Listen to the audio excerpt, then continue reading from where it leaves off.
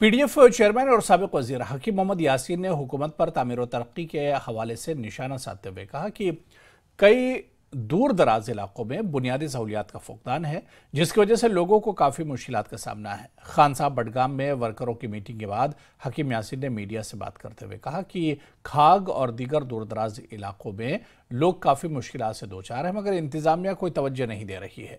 वाजह है कि आने वाले इंतबात के लिए पीडीएफ लगातार मीटिंग मुनद कर रही है ताकि पार्टी को मज़बूत बनाया जा सके।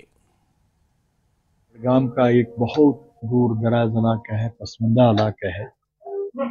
जहाँ हम तमीर तरक्की की बात के बारे में बात करते हैं, अगर देखा जाए जिला बड़गाम में, सबसे पसमंदा इलाका जो है, वो खाग का इलाका है। तमाम सरकारों ने इसको इग्नोर किया और बदकिस्मती ये है आज के डेट में तामीर तरक्की के हवाले से बहुत कुछ कहा जाता है। तो मुझे